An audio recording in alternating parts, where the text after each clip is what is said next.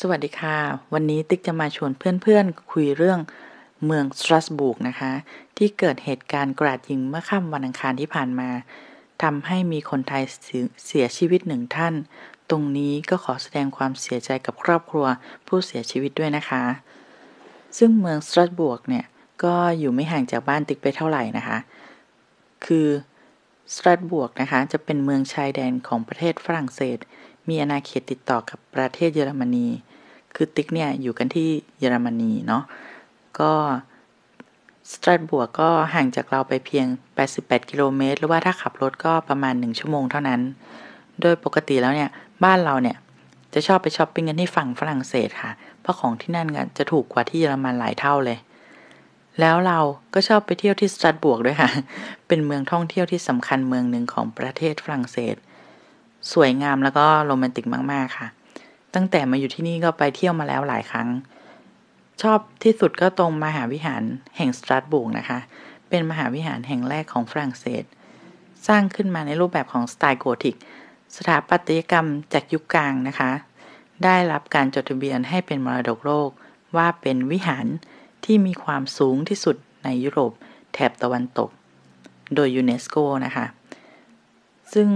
โบสถ์นี้นะคะ ใช้เวลาสร้างนานถึง 400 ปีเลยทีเดียว ปีหนึ่งนะคะ จะมีนักท่องเที่ยวกว่า 4 ล้านคน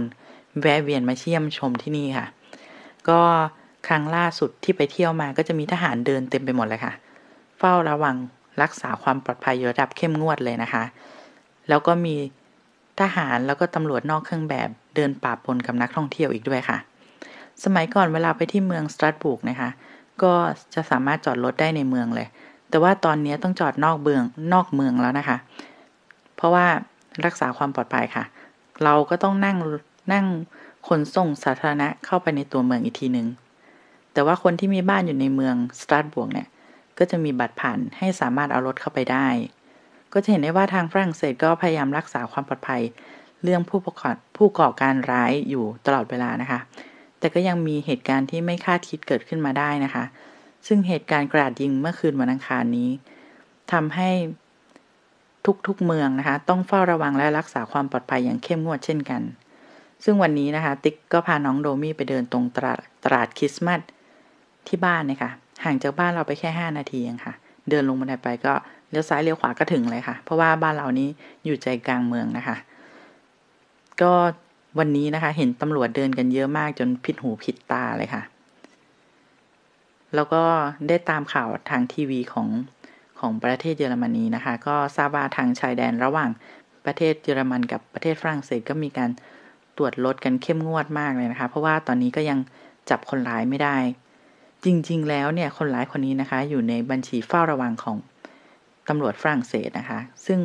เมื่อเช้าวันอังคารนะคะ เช้าวันอังคารเขาก่อเหตุวันอังคารตอนกลางคืนนะคะค่ำ เช้าวันอังคารเนี่ยตำรวจแล้วก็คอมมานโดนะคะ บุกเข้าไปเพื่อที่จะจับกลุ่มผู้ร้ายคนนี้เลยค่ะ แต่ดันไม่อยู่บ้านค่ะ ก็เลยจับไม่ได้ ตอนเย็นผู้ร้ายคนนี้ค่ะ ก็เลยลงมือก่อเหตุเนาะกราดยิงแล้วก็มีมีดด้วยนะคะ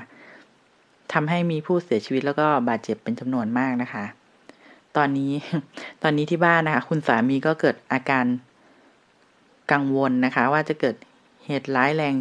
แถวตลาดคริสต์มาสบ้านเราหรือเปล่าค่ะ เพราะว่าก็อยู่ใกล้ ๆ กันเนาะก็เราก็ต้องคอยระมัดระวังค่ะ เพราะว่าจะไปไหนมาไหนก็ต้องเดินผ่านตลาดอะคะ่ะเลี่ยงไม่ได้ว่าตลาดเนี่ยมีทุกซอยมีมีทุกถนนเลยค่ะ ก็คือต้องระวังเอานะคะ ก็ยังไงติ๊กก็ขอฝากความห่วงใยไปกับเพื่อนๆ ที่อยู่ต่างประเทศด้วยนะคะ ตอนนี้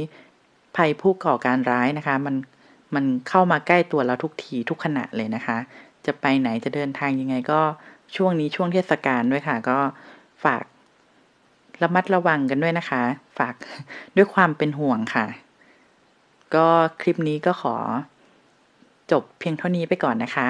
ถ้าเพื่อนๆชอบคลิปนี้ก็ช่วยกดติดตาม กดไลค์แล้วก็กดแชร์ เพื่อเป็นกำลังใจให้กับติ๊กด้วยนะคะ ขอบคุณค่ะ สวัสดีค่ะ